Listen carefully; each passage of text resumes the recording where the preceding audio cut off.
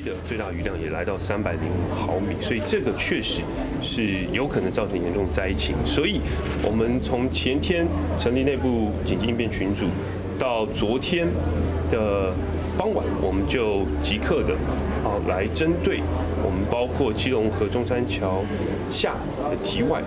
赶快进行指出不进的管制措施。那晚间八点，我们再扩大基隆河沿岸啊堤外进行只出不进，所以在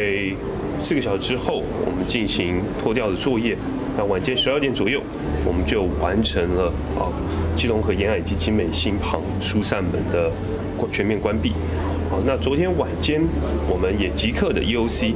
来升级到三级强化的拍摄，所以这个部分包括公务局、消防局、环保局、交通局，还有区公所、民政等相关单位全面的进驻在 EOC。好，所以昨天我们也即刻在南港区，哦，预先的针对哦边坡管制的全户。哦，两名民众先让他们到山下，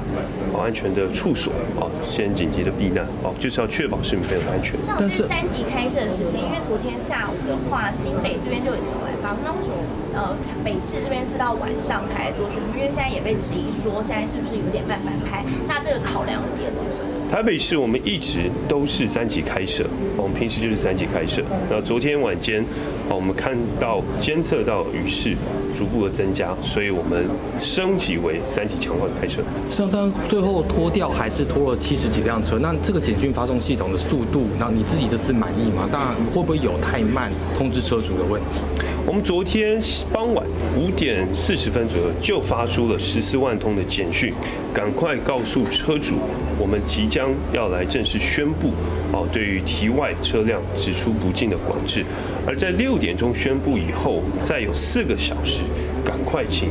哦，包括我们透过官方的烂群组，包括行动防灾 APP，包括我们周边邻里的各项广播通知群呃方式。